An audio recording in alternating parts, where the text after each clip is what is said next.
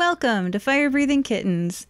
Today is a special episode as we're here with our new member, Nasty MacAntyre. Hi, Nasty. Can you describe what you look like for our listeners? Ah, well, I'm a, a three foot eight albino orc. And I know some people are like, oh, orcs, the big guys, the, the, the real big, strong guys. Yeah, that's me. I'm big and strong. I'm just, I'm fun sized. I'm in a small package, you know. You get a lot from just all this, you know. I, I'd, I'd probably be too much for you if I was like six foot like all them other orcs. Fun size is the right size. So you're a new addition to the crayon box. What color would you be and why? Uh, I'd probably so white because I'm albino, but like one of those one of those crayons. It's been in the box a little too long. It's kind of been smudged with all the other ones. It'd be more of an off white, and like you'd be drawn with it. And sometimes you get a little bit of red, a little bit of blue. You wouldn't know exactly what you'd be going for, but it, it would be white, you know. Also, who's drawing with a white crayon? Like, what? Oh, white crayons are super important. Like, Oh, I, I, I, I'm not discounting white crayons. I'm just saying I've, I've never used one. I does this world have TikTok videos I can share with you of how to properly apply white crayons? Probably not. But anyway, question two is Nasty MacAntyre, what are your strengths? My strengths. Well, let's see. Uh, well, I'm, I'm. Let me tell you, I am so smelly and stinky, and like, if you need something from a trash yard, a junk heap, I'm your man. You know, if it's there, I know it's there, and I can find it in like three seconds flat. All right.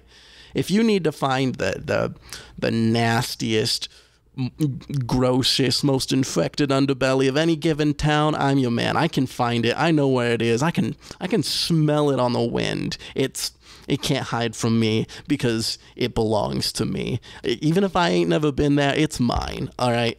Well, that's a unique skill that I can't say anybody else is offering. Absolutely. Question three is Nasty, what are your weaknesses? Uh, my weakness is well. You know, it's it's not a. It's kind of an odd question because it puts people on the spot, and no one wants to make themselves seem like a like less than what they is. You know, uh, if I had a weakness without you know saying something silly like, "Oh, you know, I'm too nice. I'm just too nice to everybody." Uh, you know, I don't always like to, to confront things head on. I feel like typically there's a better way to go about doing things in like a, a, a, a sneaky, stinky fashion, you know, without just. I, I, I don't need to stare something in the face to let it know that I'm there, all right? I could be hiding in the vents and they'll know I'm there. They'll smell me on the wind. but yeah, confrontation is not my strong suit. That's all right. As you said, when you're in the vents, you get them one way or another. Uh, yeah. Question four is Nasty, where did you grow up? Uh, I grew up in this little town in the, you know, kind of bumstick nowhere. Just, I mean, also kind of not nowhere. It, it's sort of like the suburbs, but like the little suburbs. It's a small suburb. Uh, like there's only like two or three guards for the whole area I'm in. Uh, pretty good trash heap though. I ain't never seen a trash heap quite as homey as the one where I grew up. Uh, yeah. There's no place like home or the trash from it, for sure. Well, question five is when you have such a nice trash heap at home, why did you want to join the Fire Breathing Kittens Guild? Uh, well, you see, there, there, there's there's this lady I met years ago, Rose MacAntyre, call her Auntie. Uh, she she she sort of adopted me, you know. She's like not not literally, but effectively. She basically adopted me. I I like decided to start taking her last name because it would make things less awkward. Be like, oh, is this your son? Be like, sure, yeah, I'm I'm I'm Nasty MacAntyre. But anyway, Auntie MacAntyre here, she worries about me, and I could use a little bit of extra income. Uh, she thinks I'm using it for myself, but there's no better way to live than in squalor, let me tell you. When you got nothing but the, the, the dirty newspapers and banana peels below you, that's when life is good. But Auntie MacAntyre, she's getting up in age, you know. She she ain't got too much longer left, and I want her to enjoy it. So you know, maybe maybe be able to give her some gifts or maybe some vacations on the side. I don't need it, but she deserves it. That is the sweetest thing I've ever heard. Oh my god. Don't you dare tell nobody. Of course not. No, mum's the word. I got the reputation to keep up. of course. Well, question six is if you were given a one minute advertisement time spot during the annual Nickimoy fighting tournament, what would you fill it with? How long is this? One minute, and One everybody's minute? going to see it like the Super Bowl commercial. Oh man, I'd have I'd have to work myself up to it, make sure I could actually do it. But if I bet if I did some training, and when that when my my moment to shine came along, I just have a one minute long boip. You know, just a nice, it- yeah. hmm Really show everyone what I'm about. Show them that I've I've got dedication. I got the skills, and I I can do what you need me to do. And if you don't know what you need me to do, I'm happy to show you what I got. oh my gosh. People would talk about it for years. That's what I'm saying. if for no other reason than novelty, think about it. It's like, how much did this person pay for this? And all they did was a minute long boip. That's incredible. They didn't even say nothing. I don't know who this is, and now I need to know. it's like they say, show, don't tell. You tell them who you are, what you're about, like, eh. You do a one minute long boip, and they're going to want to know all that without you telling them nothing. So true. Well, question seven is Nasty, what do you like doing in your spare time? Sleeping, just sitting around, maybe rolling in some dirt. Legit. Question eight is What things in life are still a mystery to you? Uh, soap. I don't know why everyone. What's the deal with soap? Why does everyone like soap so much? Why is everyone always saying, "Hey, nasty, you really gotta bathe sometime"? Like, nah, tried it once. It ain't for me. I, I, I got what I likes. You got what you likes. I respect that. I need you to respect me and keep that soap. Nope, soap gone. No soap. I don't get soap. I don't. I don't know if I'll under, ever understand soap. Do you understand soap? Don't No, try to just- explain it to me. Yeah, I, they're just I, I don't exchanging care. one cent for another, really. Like, who's to say that yours is better? Right? I don't need some store bought manufactured scent when I can curate my own. You it's get more it. individual. Yeah, yeah. Why do you want to smell like everyone else? Yeah. Question nine. What's your annoying habit, Nasty? Depends on who you ask. uh, there's actually a little bit of a point of pride. You you give me a poison, I'll figure out what annoys them, and I I I'll be able to consistently replicate it in front of them. So the question is. What do you not like? And I will start exhibiting those traits. What annoying habit don't I have? All right. That like, is a I'm not a, talent. I'm not a bad person. I'm not a bad poison, but I see no reason not to grate on people just a little bit, you know, just so they remember you. Yeah, and to not be aware of what irritates someone would be worse. Right? At least I'm I I can keep it just a little bit in the background so that you're like "Ah, I hate that he's doing that, but it's not enough for me to say nothing rather than me actually doing it and you feeling the same way. "Ah, I don't want to tell him he'll be embarrassed. I'm like, "Nah, I know what I'm doing. You can tell me when to stop and I'll stop." But if you don't tell me to stop, I'm going to keep doing it.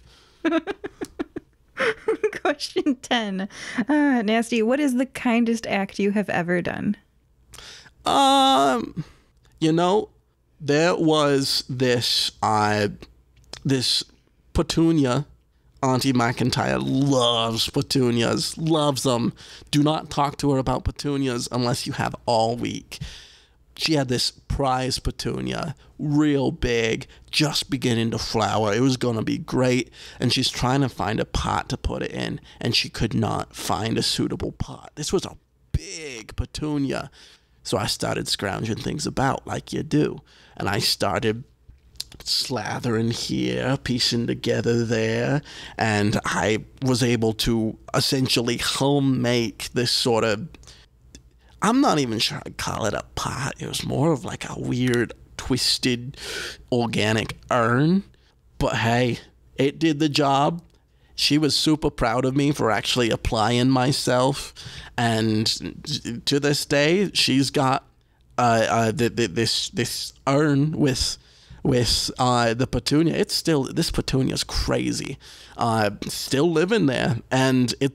I'm not sure how to feel about it. It's kind of interesting. It, it's kind of like a testament to her and me because like it's a stinky urn but it is a, a smelly flower too. When you when you're standing next to it, it just kind of cancels out. It's like we're we're good for each other, you know. We neutralize each other the same way urn neutralizes her smelly petunia. it's a fragrance-free workplace. The petunia can fit right in because they cancel. Oh, ain't out. no work happening over at Auntie MacAntyre's. Yeah. Just well. petunia conversations. All week long. Yeah. Question 11 is Where would you like to visit? I, I don't really know. I, I'm down to just explore because I know there's other trash heaps out there. And the best part is, is some people, they, I mean, you could ask, like, hey, where's the trash heap? And they'd be like, I don't really even think about it. Trash heaps just kind of happen. And that's the beautiful thing is a trash heap could be right under someone's nose. They won't even know about it. You stumble into it and there's just this beautiful trash heap right there waiting to be rolled around in picked through and see what's in there. You can tell so much about a community by what they throw away. Uh, it, it it's fascinating really. It's it's fascinating. I don't know if there's any particular place I'd like to travel to, but I certainly would like to travel. That we can do. Absolutely. Future GMs, take Nasty to a faraway place that has a trash heap. Question 12 out of 15. You're approaching the end, so let's get into silly question territory. Nasty, do you like pickles? What's not to like? Long story short, yeah. Who doesn't like pickles? And if they don't like pickles, I'm going to eat them around them all the time. you will discover what their pet peeve is. Crunch it nice and loud. If they don't care about that, add extra dill so they can smell it. They don't care. I'll find something. Question 13. A penguin walks through that door right now wearing a sombrero. What does it say and why is it here? It probably wants to fight. Why else would a penguin come all this way in a sombrero? I'm not, I'm, I'm not gonna fight yeah. it. Penguins are messed up, man. Yeah. I and I'm not I'm not about to mess up that penguin. They they lead hard lives, and truth of the matter is, if he wants to fight, he probably knows how, and he'll mess me up. I ain't looking to get messed up. So maybe I'd like give him a gift card I found to like a local tavern and distract him so he leaves me alone. Alternatively, he wants to share my trash heap, and that ain't happening. I'll fight him if that's what he wants. That's fantastic. Okay, second to last question. Nasty MacAntyre, what is one thing or oh my gosh, what would you like remembered about you? Uh I would want people to know that I lived deliberately. All right. I don't know if you've heard of uh the king of the junkyard. It's no. not it's not a, a poison or a title it's it's like a state of being. You heard of uh, Nirvana? Yeah. Like you achieve it. It's like a headspace. That's what being king of the junkyard is. It's knowing that you are living how you want to live and that people can't take it away. You know, you can take the, the king out of the junkyard, but the junkyard is still there in the king. I want people eventually to remember just that, oh man, that guy was smelly like there was a junkyard nestled in his heart. And I'm like, damn straight there was. That's amazing. oh man. I don't know if I can convey that to other people, but I want to share that with other people. And I'm just gonna be like, no, like the king of the junkyard. And they're gonna be like, what are you talking about? I feel like you had to have been there. All right, question 15. Have, have, have, you ever have you ever been in your room? You you maybe been there a little too long like you're a little sticky, a little sweaty, and like you're a little bit disgusted with yourself, but you don't want to get up, you don't want to leave, and just like, is this my life? Am I gonna accept this? I accept that every single time. That is a taste of what it's like to be king of the junkyard. Total acceptance of yourself and your lifestyle. And no one can take that from you. Precisely. Yeah. you don't even have to be you don't even have to be smelly like I said, it's a it's a mind state. You could probably be like covered in flower petals or something nasty like that, and be and still be king of the junkyard. It's just accepting that you are where you want to be. Sorry, I interrupted you. Move on. no, no, no, you're fine. Like even with flower petals on you, the horror. Uh, so, question 15. What is, very last question, by the way, what is one message you would give to your fans? Uh, there ain't nothing wrong with being small, smelly, stinky, or uh, not what people expect of you. All right, it's it, it's like live try try to be king of your own junkyard. Right? No junkyard's the same. You can tell a lot about a poison by what they throw away. And being king of the junkyard is about retaining all that. You might actually still throw it away, but you know why you threw it away. You knew who you are. Just, you know, like, I don't even remember the question. I was, I'm just talking now. Uh, but like, be be true to yourself. And if people take issue with that, like, maybe think about it and consider how you want your junkyard to be curated. And if they ain't picking up what you want to put down, maybe there's an issue there. But if if they are picking up what you're putting down, if someone tells Nasty, "Hey Nasty, I think you're annoying just a little bit," but it's kind of like a fly buzzing around me at all times. Like, yeah, I know that's on purpose. That's who I am. If you don't want a fly buzzing around you, don't hang around Nasty. Like, all right, they might perceive that as a negative trait, but I'm doing it on purpose. That's who I am, right? So just you know, do what you do, live deliberately, be be intentional. If if if you like something and someone's got a problem with that, own it. Tell them you got a problem with them, or at the very least, you got a problem with them having a problem with you. You might live in. Here we go. Here's a good way to condense it. Even if you live in everybody else's trash, don't take shit from nobody. Dang. You heard it here, folks. Even if you live in other people's trash, don't take shit from nobody. Thank you for joining us, Nasty. Oh, absolutely. And we'll see you in an upcoming adventure. Goodbye. Goodbye.